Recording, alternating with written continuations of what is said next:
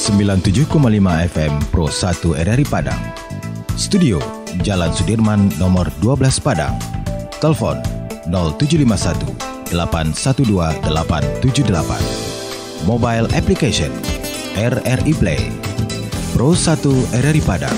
Kanal Inspirasi Pro 1 RRI Masih bersama Pro 1 dari Padang Kanal Inspirasi. Pendengar, pukul 10 waktu Indonesia Barat kita hadirkan bincang siang di ruang dengar Anda yang membahas tentang urgensi rencana aksi daerah atau RAD uh, penyandang disabilitas. Dan alhamdulillah untuk kesempatan kali ini kita sudah tersambung juga dengan narasumber. Ini ada Abang Antoni Saputra SSMA PhD. Kita coba sapa dulu. Selamat pagi. Assalamualaikum Bang Antoni. Selamat pagi Mbak Foni, Waalaikumsalam warahmatullahi wabarakatuh. Selamat pagi juga buat uh, semua pendengar setia uh, Pro 1 RRI Padang. Di mana Iya. saja berada, salam sehat untuk kita semua. Baik, salam sehat juga. Sehat Bang Antoni?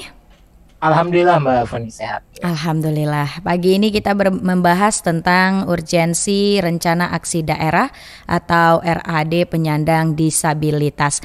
Kita juga mengundang Anda pendengar yang ingin mengajukan pertanyaan juga seputar topik, silakan kami undang di 812878 atau via WhatsApp Pro 1 di 0811 6666 Nah, urgensi rencana aksi daerah penyandang disabilitas. Ini mengawali perbincangan kita sebenarnya apa yang melatar belakangi adanya rencana aksi daerah ini, Bang Antoni? Silakan. Ya baik, terima kasih Mbak Foni ya.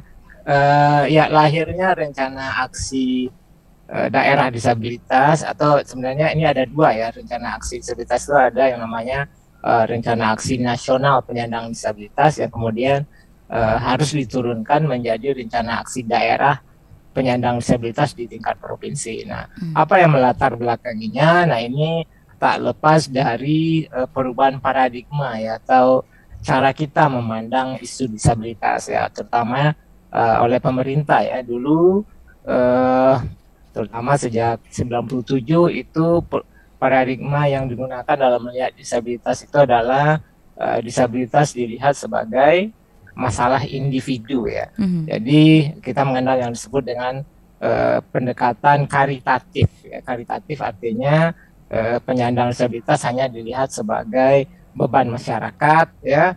Eh, penyandang disabilitas eh, hanya dianggap sebagai masyarakat yang selalu butuh bantuan, eh, tidak berdaya, begitu ya, Hmm. menjadi eh, permasalahan ya dalam eh, kesejahteraan sosial.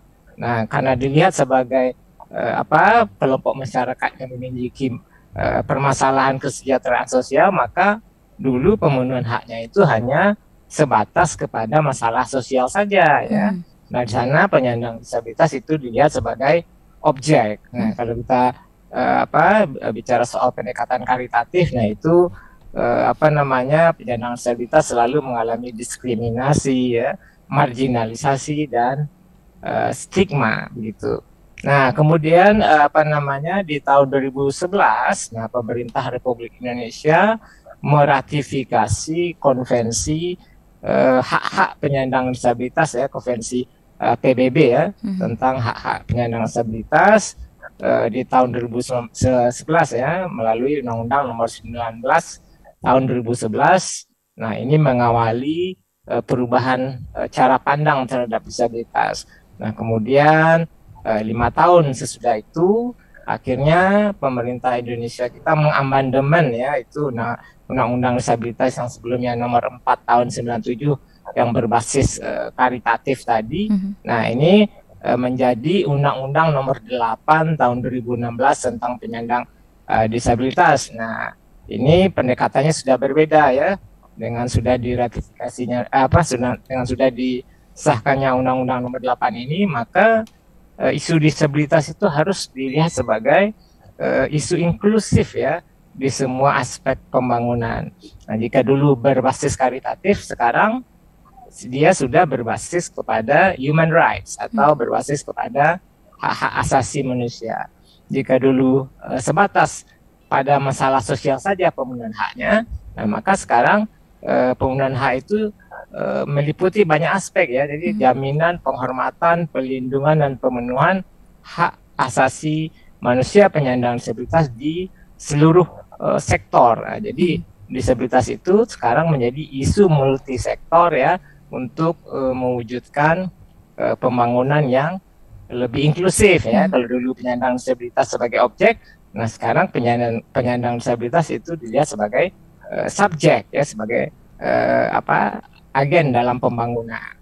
Nah kemudian uh, kita juga tahu ya uh, uh, dua tahun belakangan ya Undang-Undang Nomor 8 tahun 2016 itu juga sudah uh, disahkan ya uh, sembilan aturan pelaksananya.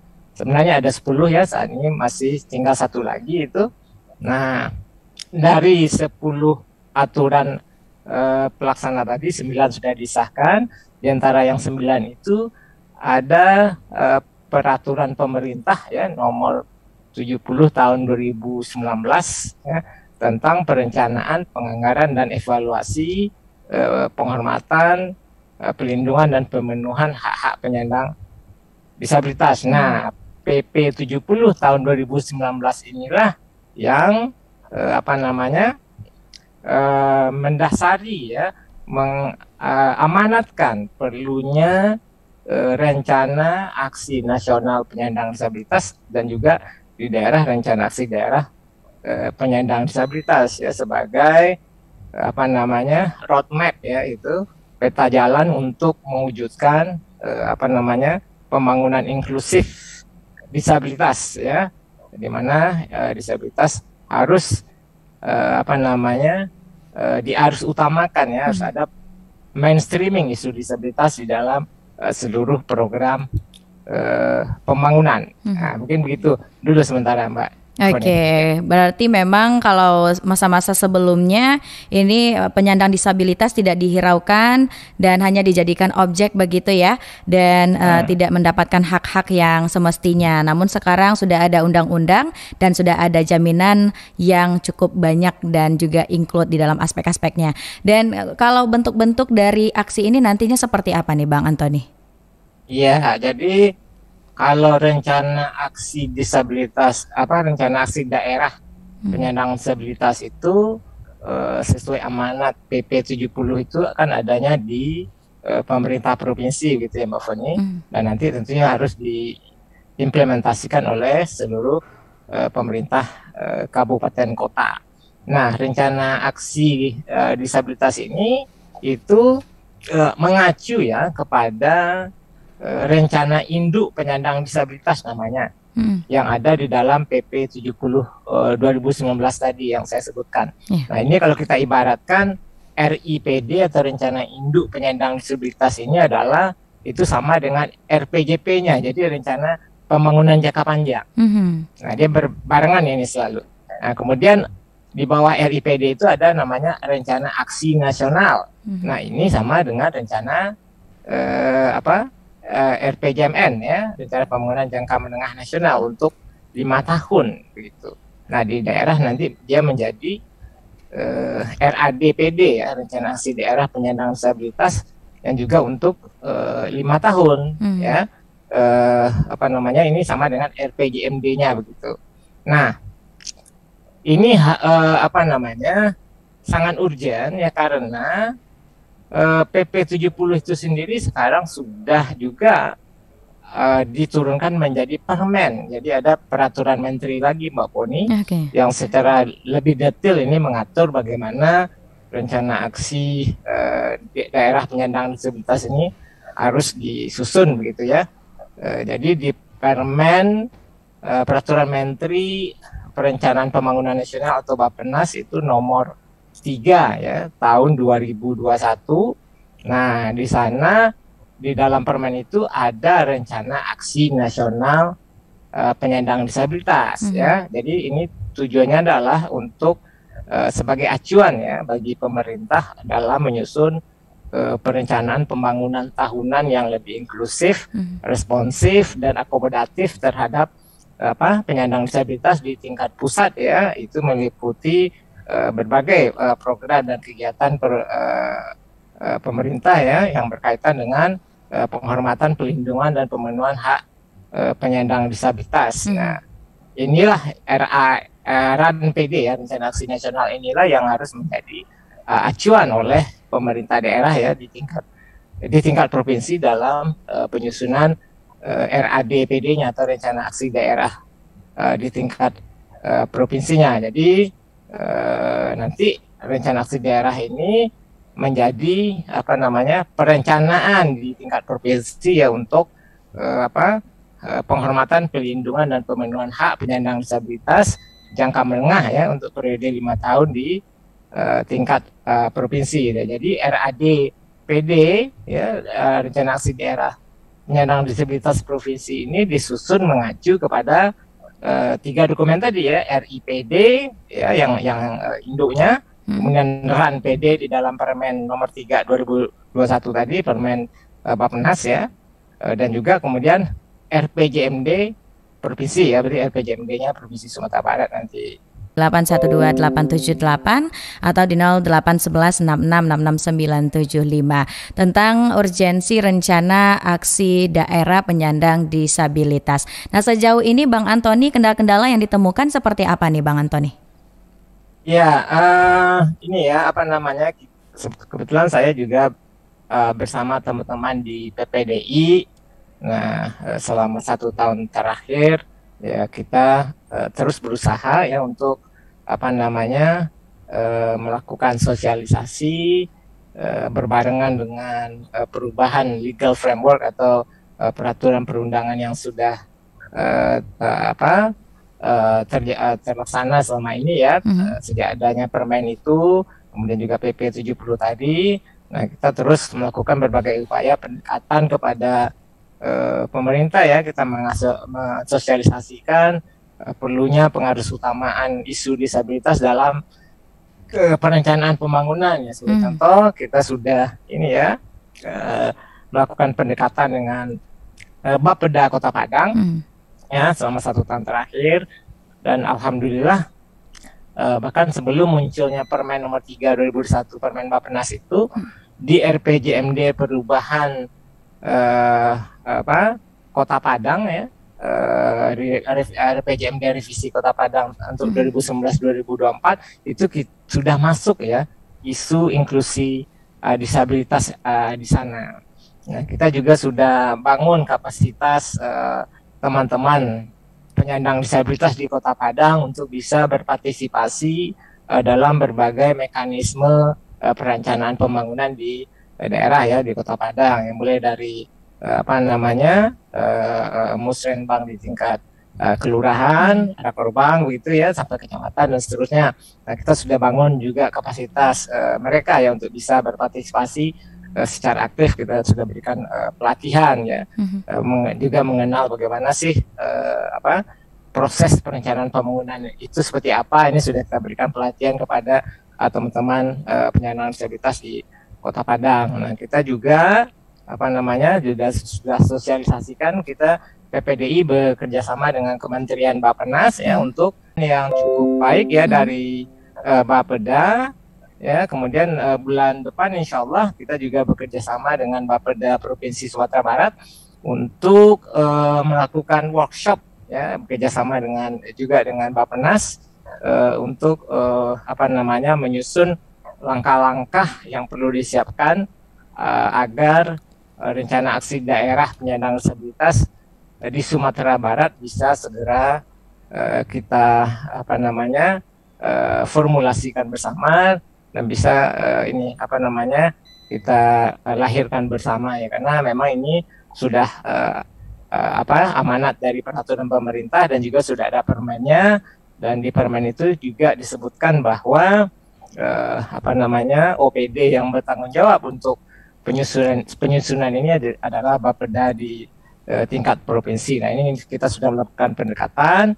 Uh, ya memang inilah ya yang kita harapkan dari uh, pemerintah kita diposisikan ya organisasi penyandang disabilitas ini diposisikan sebagai mitra pemerintah begitu ya hmm. Mbak Foni hmm. uh, untuk uh, apa namanya uh, membantu pemerintah dalam uh, apa uh, mengharus utamakan isu disabilitas ini ya. Uh, jadi kita ingin sekali uh, bisa terwujud ini rencana aksi daerah penyandang disabilitas di provinsi supaya uh, berbagai uh, program kegiatan uh, pembangunan ya baik itu di tingkat provinsi maupun uh, kabupaten kota sudah betul-betul bisa mengarus utamakan isu disabilitas ini dalam semua uh, program kebijakan dan kegiatan uh, pembangunan daerah gitu Pak Fudi. Oke, berarti bisa dikatakan banyak dukungan yang didapatkan begitu ya untuk melakukan aksi ini, Bang Antoni. Ya alhamdulillah ini kita dukungan luar biasa juga hmm. dari pemerintah daerah ya artinya uh, mereka sudah memposisikan kita ya organisasi penyandang disabilitas ini sebagai uh, mitra mereka yang yang setara dan sejajar ya karena memang yang paling mengerti isu disabilitas tentunya uh, kita ya penyandang hmm. disabilitas melalui organisasi uh, kita yang cukup banyak juga ya. Nah apalagi kalau kita lihat prevalensi disabilitas di Sumatera Barat ini itu e, menurut data dari Bappenas itu kita malah prevalensinya di atas prevalensi nasional. Okay. Jadi kalau di nasional itu 2,5 persen, nah itu di Sumatera Barat itu 2,8.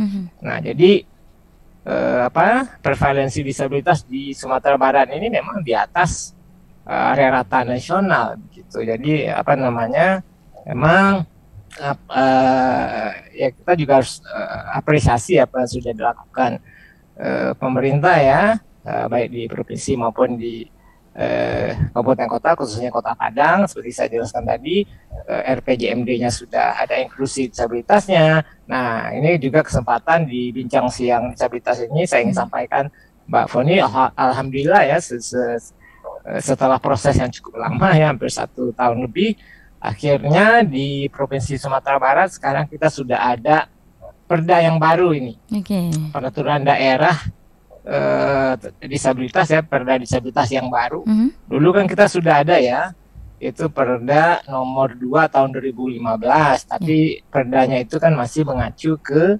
undang-undang yang lama mm -hmm. sehingga harus diharmonisasi gitu. Uh, menyesuaikan dengan Undang-Undang Nomor 8 tahun 2016. Nah, alhamdulillah dengan pelibatan aktif kita di organisasi penyandang disabilitas. Nah, Perda Provinsi Sumbar ya tentang disabilitas itu nomor 3 tahun 2021 tentang penghormatan, pelindungan dan pemenuhan hak penyandang disabilitas baru saja disahkan, Pak Foni. Okay. Nah, jadi Perda disabilitas kita yang baru di tingkat provinsi ini sangat uh, apa in, uh, komprehensif ya, sangat mengacu kepada Undang-Undang Nomor 8 dan juga uh, 9 aturan pelaksananya. Jadi sangat lengkap, lebih komprehensif dan uh, diharapkan tentunya akan lebih implementatif nantinya. Nah, di dalam Perda Disabilitas kita nomor 3 tahun 2021 ini, mm -hmm. nah di sana juga terutama di pasal 14-nya itu dinyatakan bahwa eh, pemerintah daerah uh, harus segera menyusun rencana aksi daerah untuk uh, penyandang disabilitas. Nah, hmm. jadi sudah lengkap ya artinya yeah. Uh, apa secara peraturan perundangan untuk perlunya RADPD ini segera hadir di provinsi Sumatera Barat, Mbak Funi. Oke, berarti Perda yang baru ini isinya termuat itu lebih lengkap ya untuk uh, memastikan hak-hak disabilitas itu terpenuhi semuanya, Bang Antoni. Ya, lebih lengkap, lebih komprehensif dan hmm. lebih implementatif. Okay. Nah, karena mekanismenya untuk pro, apa mulai dari perencanaan dan pelaksanaan itu sangat jelas di Perda yang baru ini. Ya, okay. uh, eh, perlunya nanti ada koordinasi dalam pemenuhan oleh uh, apa di bawah Sekda ya yang dimandatkan uh, langsung oleh uh, gubernur hmm. dan kemudian harus ada rencana aksi daerah tadi dan kemudian juga nanti akan ada komite disabilitas daerah. Mm-hmm. Nah itu beberapa poin-poin penting yang uh, akan membuat apa namanya perda kita yang baru ini akan lebih implementatif dibanding uh, perda sebelumnya Mbak Foni.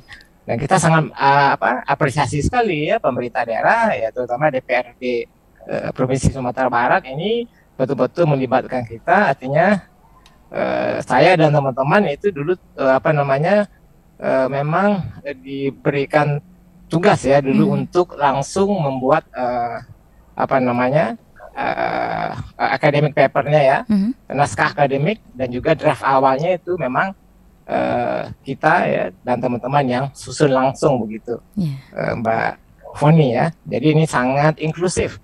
Uh, perdanya mulai dari uh, pe, apa perumusan awal sampai lahirnya perda ini sangat uh, inklusif. Ada pelibatan aktif uh, kita penyandang disabilitas dalam lahirnya uh, perda yang uh, baru yang kita nanti nantikan ini. Oke, nah ya, respons teman-teman di lapangan itu seperti apa terkait dengan rencana yang telah disusun ini, Bang Antoni?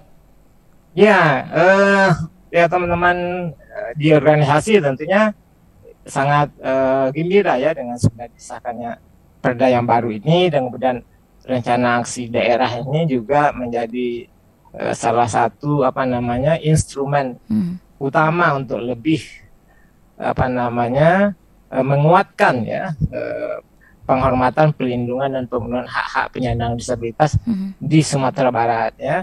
Jadi kita siap artinya uh, uh, bekerja sama dengan pemerintah untuk membangun uh, tidak hanya kapasitas teman-teman disabilitas, namun uh, kita juga nanti akan bangun juga ya kapasitas atau capacity building untuk teman-teman uh, uh, di uh, pemerintahan ya, karena mungkin ini masih apa ya uh, isu yang baru ya buat buat uh, uh, apa beberapa OPD mungkin ya bagaimana mereka uh, bisa mengarus utamakan mainstreaming disabilitas ini dalam program kegiatan mereka instrumen apa yang harus digunakan. Nah ini apa namanya akan nanti terus kita bantu ya. Karena uh, Kementerian Bappenas sendiri ini juga sangat uh, apresiasi ya terhadap uh, progres yang progres yang sudah cukup bagus yang ada di Sumatera Barat ya.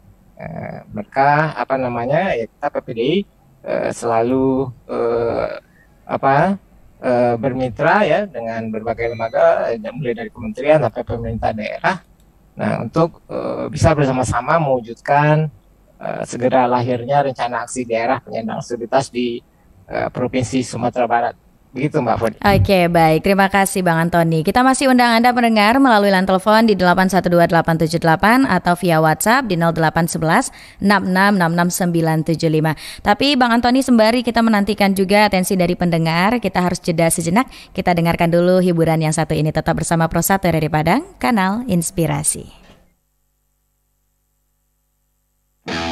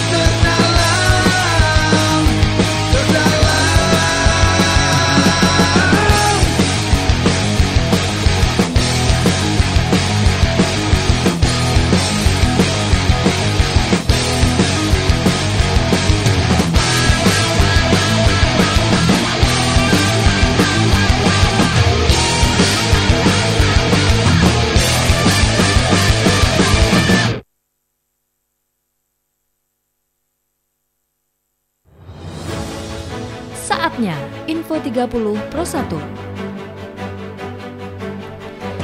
Dikutip melalui padangkita.com, pengelolaan sampah masih menjadi pekerjaan besar di Kota Padang. Kepala Dinas Lingkungan Hidup DLH Kota Padang Mairizon mengungkapkan, sampah yang tidak terkelola mencapai 62,8 ton per harinya. Sampah yang tidak terkelola ini adalah sampah yang ditemui di muara sungai, bantaran pesisir pantai, dan tempat-tempat penumpukan sampah liar. Ia mengharapkan dengan aksi yang dilakukan oleh komunitas-komunitas peduli sampah di Kota Padang bisa menjadi motivasi bagi masyarakat lainnya untuk juga ikut mengelola sampah.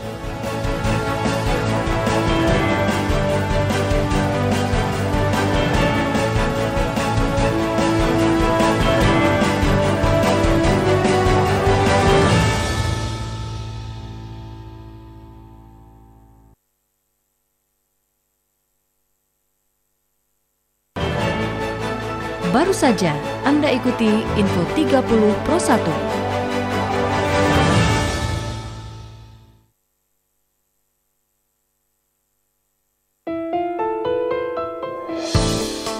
Halo, kami dari Damasif dan Roef.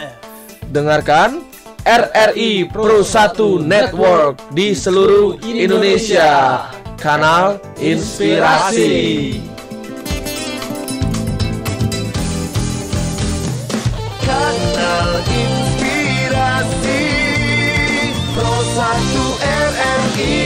Terima kasih pendengar Anda masih bersama Pro 1 di Padang Kanal Inspirasi. Urgensi Rencana Aksi Daerah atau RAD penyandang disabilitas.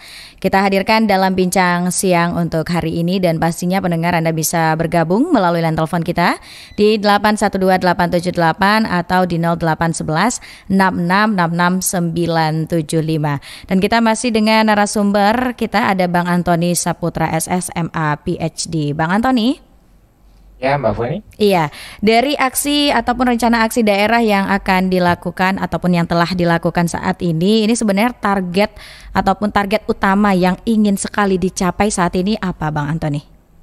Iya, jadi apa namanya rencana aksi daerah penyandang disabilitas ini kan sama dengan RPJMD-nya gitu ya Pak Funi mm -hmm. untuk uh, perencanaan pembangunan. Tapi ini khusus ke pengaruh utamaan isu disabilitas dalam pembangunan yeah. ya uh, sebelum saya jelaskan nanti uh, eh, RADPD ini seperti apa, mungkin perlu saya sampaikan juga uh, uh, apa kenapa RADPD ini rencana aksi daerah penyandang disabilitas ini uh, dapat menjadi uh, instrumen yang lebih efektif dalam uh, pelindungan apa penghormatan pelindungan dan pemenuhan hak disabilitas terutama di provinsi Sumatera Barat ya. Hmm. Nah, yang faktor yang pertama adalah pendataan. Nah, ini karena uh, daerah itu memiliki potensi yang lebih besar ya dalam melakukan uh, pendataan secara lebih komprehensif dan akurat ya hmm. karena uh, apa sampai saat ini pendataan disabilitas ini menjadi salah satu isu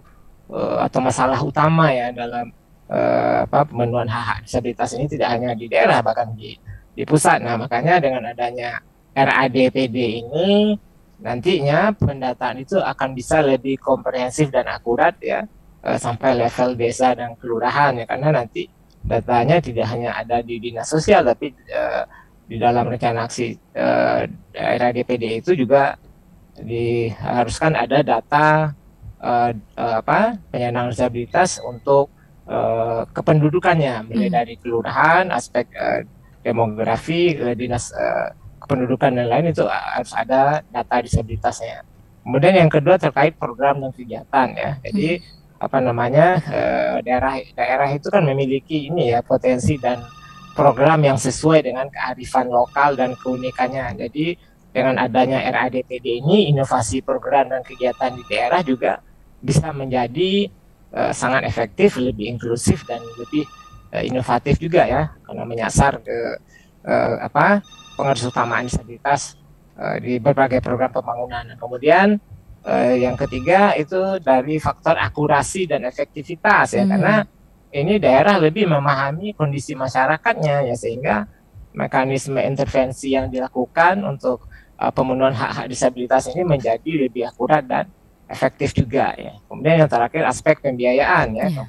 Uh, ini karena apa daerah itu kan dapat mengoptimalkan ya berbagai uh, skema pembiayaan untuk program uh, pengaruh utamaan uh, disabilitas ya, uh, baik itu dari uh, dana alokasi pusat, ya, APBD, nah terutama dana desa ini ya, ini juga sangat berpeluang untuk uh, bisa membantu pemenuhan hak-hak uh, disabilitas uh, melalui program uh, dana desa. Yeah. Nah, Oke, okay, ya. baik. Bang Antoni kita tahan dulu, kita terima yang satu ini. Halo, selamat okay. siang. Assalamualaikum. Iya, dengan siapa di mana Pak? Uh, dengan Pak Syam di Padang. Pak Syam di Padang, silakan Pak ya. Syam. Ya, ya baik uh, Bu, saya mau bertanya. Hmm. Uh, saya kebetulan saya baru bergabung. Hmm. Uh, apa nantinya yang akan diatur dalam RAD itu. Mm-hmm. Yang pertama.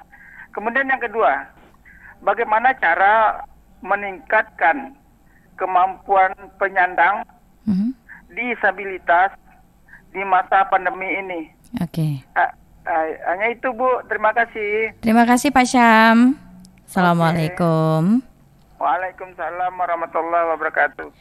Baik, ada pendengar kita Pak Syam di Padang. Terima kasih sudah bergabung dan untuk Anda pendengar yang masih ingin bergabung juga di belakang Pak Zam, kami tunggu di 812878 atau via WhatsApp di 08116666975. Ada dua item pertanyaan dari Pak Syam di Padang. Ini apa yang akan diatur sebenarnya dalam RA RAD itu dan juga bagaimana cara uh, meningkatkan penyandang disabilitas ataupun uh, aksi dari penyandang disabilitas di tengah pandemi ini. Silakan Bang Antoni. Ya, terima kasih banyak Pak Syam. Wah, pertanyaan Pak Syam ini luar biasa, bagus sekali ya. Hmm. Uh, baik, untuk pertanyaan pertama, apa saja yang nanti perlu apa akan diatur di dalam RADPD ini ya? Nah, nanti RADPD ini akan berbentuk peraturan gubernur ya, Mbak Foni. Yeah. Nah, uh, karena apa namanya seperti saya sampaikan tadi, RADPD harus mengacu kepada RANPD yang rencana aksi nasionalnya. Jadi di, R, eh, di RADPD itu nanti ada tujuh sasaran strategis hmm. ya. Jadi setiap sasaran strategis itu nanti jelas ada target capaiannya, kegiatannya seperti apa, kemudian indikator capaiannya, kerangka waktu pelaksanaannya sampai perangkat daerah mana yang akan bertanggung jawab untuk uh, setiap uh, kebijakan dalam masing-masing tujuh rencana strategis tadi. Hmm. Nah, uh, apa uh, sasaran strategis tadi ya.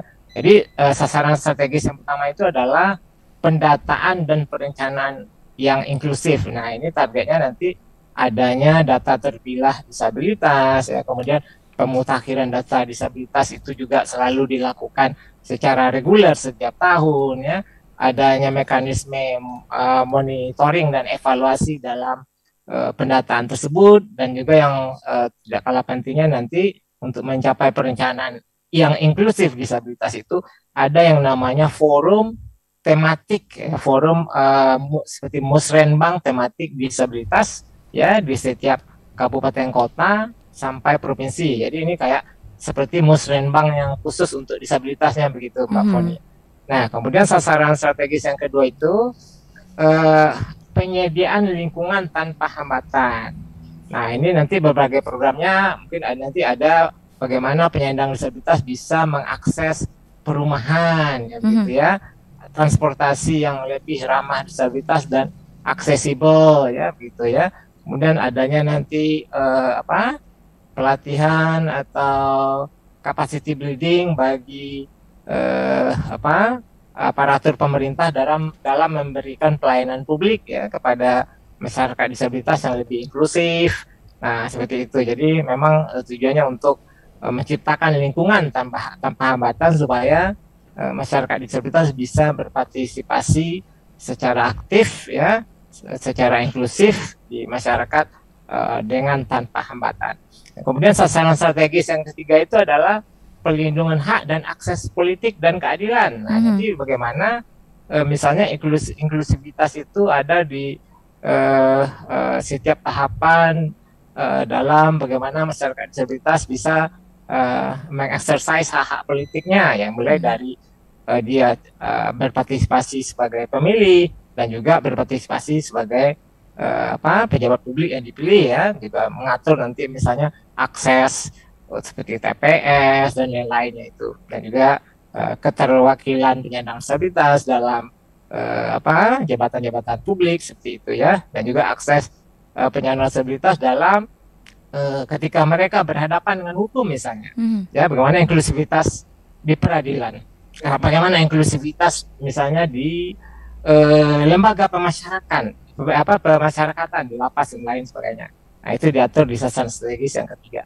Nah, kemudian sasaran strategis yang ke berikutnya adalah itu adalah perwujudan ekonomi inklusif ya. Jadi bagaimana nanti misalnya eh, berbagai program pemeliharaan ekonomi bisa lebih menjangkau penyandang disabilitas ya dan juga adanya pelatihan sensitivitas tentang disabilitas ya hmm. kepada pemberi kerja ya ke, dan lain-lain ya dan juga nanti perlu adanya unit layanan disabilitas khusus bidang ketenaga kerjaan ya hmm. supaya nanti penyaluran eh, apa eh, penyandang disabilitas ke pasar kerja itu bisa lebih terarah dan lebih inklusif dan lebih berkeadilan.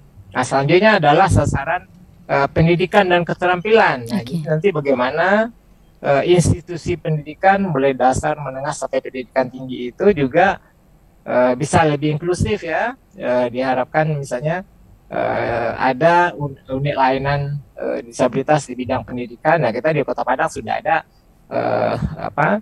unit layanan uh, pendidikan inklusi misalnya. Ini kan diharapkan uh, kabupaten kota lainnya juga memiliki unit layanan pendidikan inklusi yang sama seperti di Kota Padang. Nah, juga berkaitan dengan akses dan juga fasilitas misalnya bidang seni dan olahraga begitu ya yang lebih uh, berkeadilan dan ini seperti teman-teman yang di apa NPC itu di Paralimpik ya mendapatkan bonus yang setara dengan atlet lainnya ya juga fasilitas uh, uh, pelatih apa namanya buat training mereka dan lain itu juga lebih apa disamakan atau lebih inklusif seperti atlet-atlet dan disabilitas lainnya misalnya.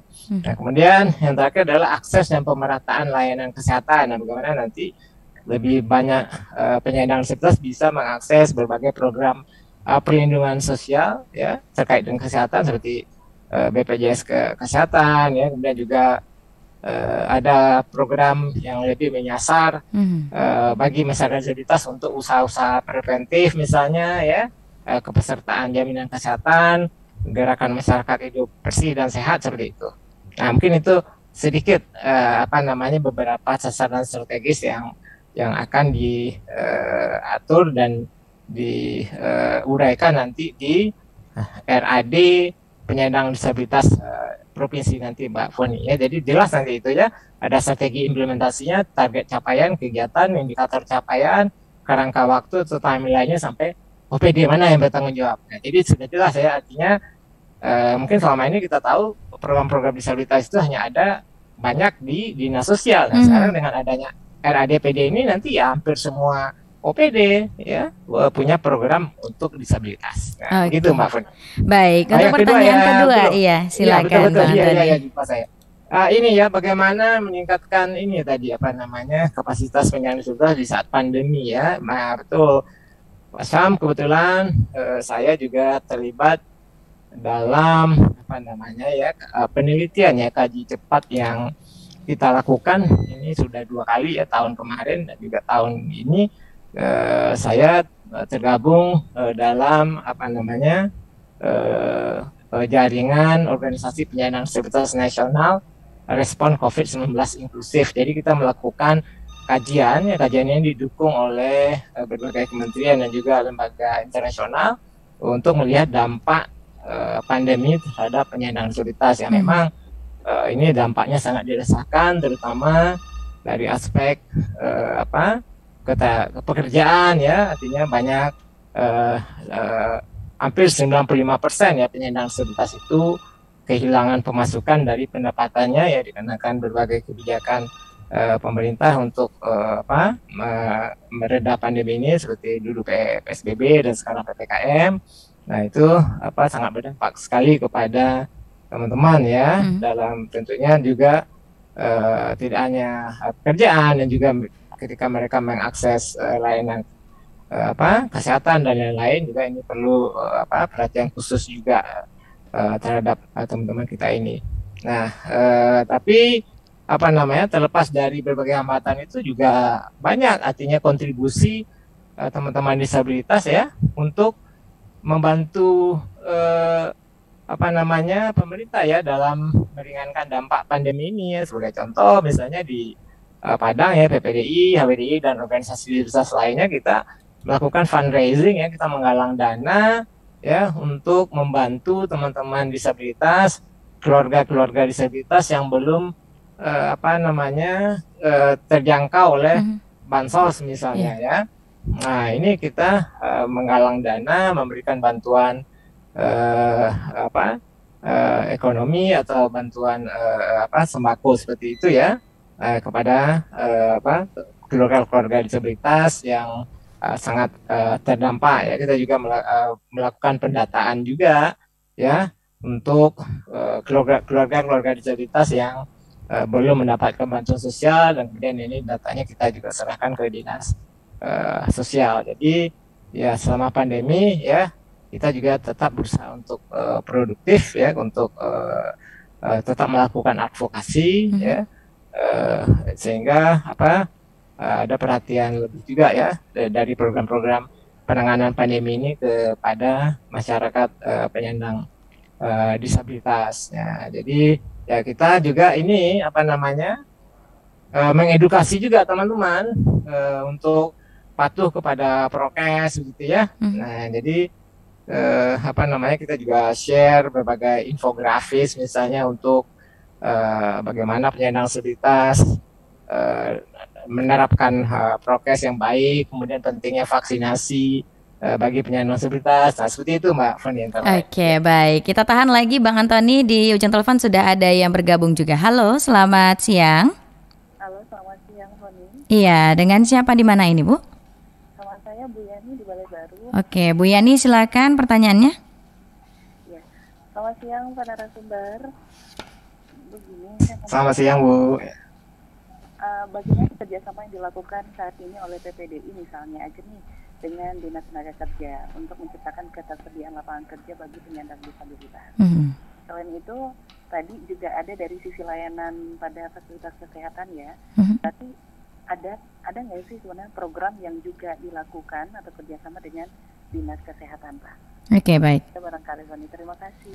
Sama-sama, Bu Yani. Ada dua pertanyaan juga dari Bu Yani, pendengar kita, Bang Antoni. Mungkin bisa langsung ditanggapi, silakan. Ya, uh, terima kasih Bu Yani atas pertanyaannya. Tadi suara Bu Yani agak kurang jelas terdengar oleh saya ya. Pertanyaan pertama tadi uh, kalau tidak salah ya. berkaitan dengan ini ya kerjasama uh, dengan kerja. uh, uh, dinas ketenagakerjaan. Ya. Lalu ya. tentang fasilitas kesehatan, uh, apakah juga menjalin kerjasama untuk program-program kesehatan bagi penyandang disabilitas? Iya, oke. Okay. Uh, terkait hak uh, ketenagakerjaan hmm. ya uh, tahun 2000 delap, uh, 2019 ya kalau tidak salah. Yeah. Nah kita PPDI itu melakukan survei kajian uh, terhadap uh, apa uh, bagaimana penyandang disabilitas di Kota Padang mengakses layanan uh, apa uh, ketenaga kerjaan ya artinya hmm. Kan itu ada aturan pemerintah uh, untuk kota ya untuk uh, uh, swasta itu wajib mempekerjakan disabilitas satu persen ya mm-hmm. untuk pemerintah dua persen. Nah ini kita sudah lakukan kajian uh, bekerja sama dengan Universitas Andalas dan juga Dinas Tenaga Kerja. Nah untuk uh, melihat bagaimana hambatan dan tantangan yang dihadapi oleh uh, pekerja maupun pencari kerja penyandang disabilitas. Nah makanya dari kajian itu kita menemukan sangat penting sekali untuk dinas tenaga kerja ini segera eh, eh, apa membentuk unit layanan disabilitas ketenaga kerjaan. Mm -hmm. ya.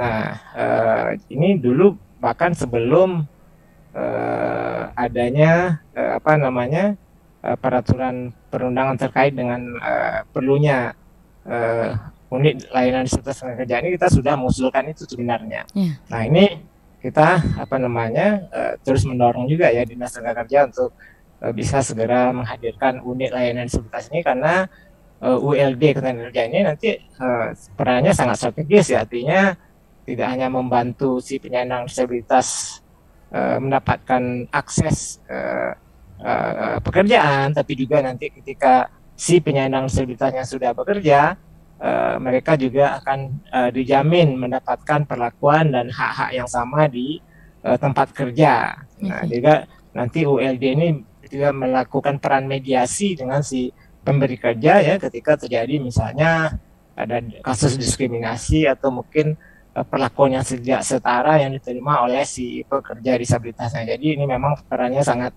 penting dan strategis untuk segera bisa hadir dan juga ini perintah undang-undang dan ada uh, apa PP-nya peraturan pemerintahnya juga.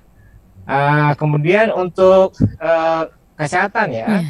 uh, ya terutama di saat pandemi ini ya kita PPDI juga sudah bekerja sama dengan dinas sosial dan uh, dinas kesehatan untuk memberikan awareness raising atau sosialisasi tentang uh, pentingnya vaksinasi COVID-19 ya bagi uh, penyandang disabilitas ya karena hmm. ya memang apa eh, eh, penyandang disabilitas kebanyakan punya faktor komorbid sehingga ketika eh, mereka apa terkena COVID mungkin efeknya lebih parah begitu sehingga eh, vaksinasi ini eh, memang ya diprioritaskan untuk disabilitas dan lansia. Nah ini kita sudah lakukan sosialisasi dan juga sudah kita lakukan vaksinasi eh, bersama begitu hmm. ya dengan difasilitasi oleh dinas sosial dan uh, dinas kesehatan uh, beberapa bulan yang lalu ya memang tantangannya kita masih apa ya um, masih cukup banyak. Teman-teman penyandang disabilitas ini yang apa uh, belum memiliki pemahaman yang baik yang masih lebih percaya kepada hoax ya tentang mm. apa informasi yang tidak benar ya berkaitan dengan vaksin ini. Ya ini ini yang terus kita uh, lakukan edukasi. Ya kita juga tidak bisa paksa juga ya artinya memang butuh uh, pendekatan pelan-pelan juga ya kepada teman-teman disabilitas untuk uh, apa uh, mereka nanti bersedia mengikuti program uh, vaksinasi ini. Tapi ya uh, dari program kerjasama kita sudah cukup banyak ya uh, kita lakukan vaksinasi ini uh, bersama dinas kesehatan dan juga dengan melalui organisasi uh, NGO lainnya ya hmm. kerjasama dengan uh, rumah sakit M Jamil kita juga sudah lakukan untuk uh, program vaksinasi bagi uh, penyandang disabilitas. Nah, mungkin ke depannya juga nanti dengan adanya nanti RADPD ini di tingkat provinsi dan harus diimplementasikan di tingkat kabupaten kota. Nah, nanti setiap OPD itu kan sudah jelas ya mm -hmm. apa program-program mereka yang harus uh, menyasar kepada pemenuhan hak layanan kesehatan untuk uh, penyandang disabilitas nanti ya. Kita juga kan nanti di RADPD itu nanti ada juga uh, program capacity building untuk nakes, bagaimana mereka bisa memberikan layanan yang inklusif ya bagi penyandang disabilitas uh, perlunya akses di berbagai uh, pusat layanan kesehatan seperti di puskesmas yang mungkin nanti uh, nakesnya juga uh, dibangun kapasitasnya untuk uh, bisa apa misalnya uh, berkomunikasi dengan teman-teman tuli ya bagaimana uh, apa uh, uh, itu menguasai bahasa isyarat Indonesia apa bisindo ya bahasa isyarat sedikit misalnya untuk komunikasi dasar ya ketika teman-teman tuli datang ke puskesmas nanti nakesnya juga sudah bisa berkomunikasi uh, dengan baik uh, dengan mereka. Mungkin seperti itu.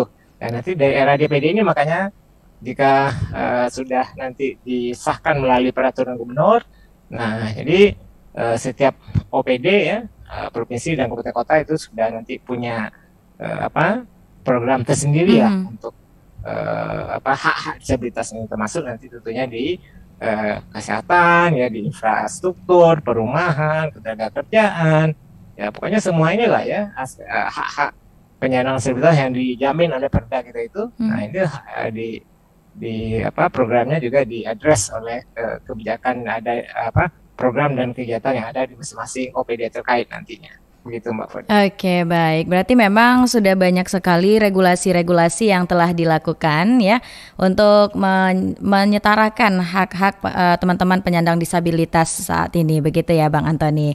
Nah karena memang kita dibatasi juga oleh waktu dalam bincang siang kita.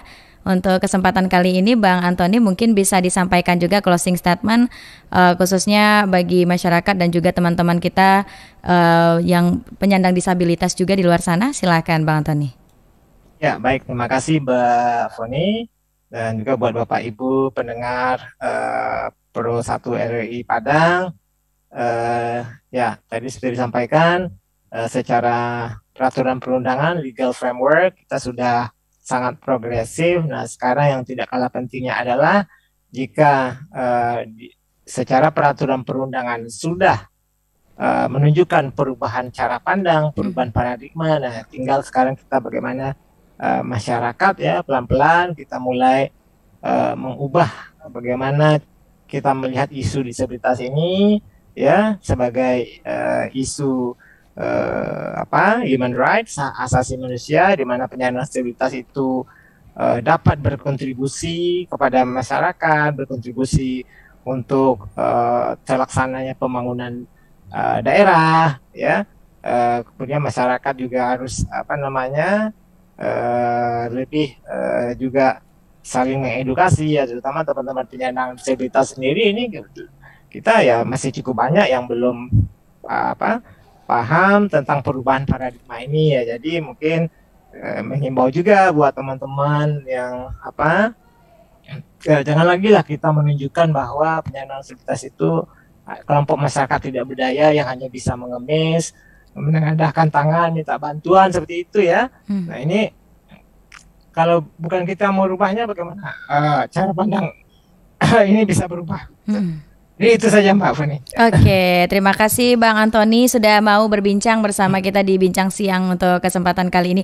Mudah-mudahan uh, segala uh, rancangan-rancangan ataupun hal-hal yang ingin dicapai untuk aksi ataupun rencana aksi daerah ini bisa terwujud dan bisa uh, memenuhi hak-hak dan kehidupan para teman-teman disabilitas bisa lebih layak ke depannya. Amin ya Bang Antoni. Amin, kita doakan bersama. Amin. Terima kasih Bang Tani. Assalamualaikum, salam sehat selalu. Terima kasih Mbak Fani. Waalaikumsalam warahmatullahi wabarakatuh. Baik pendengar itulah perbincangan kita dalam bincang siang untuk hari ini bersama dengan narasumber kita. Ada Bang Antoni Saputra SS MA PhD yang sudah membahas tentang topik urgensi rencana aksi daerah RAD penyandang disabilitas. Dan pendengar terima kasih juga untuk Anda yang sudah bergabung. Tadi ada Pak Syam dan Ibu Yani di Padang. Dan nanti setelah ini tepat pukul 11 waktu Indonesia Barat kita juga akan hadirkan informasi seputar dunia olahraga di ruang dengar Anda anda bersama program 3 RRI dalam Dinamika Olahraga.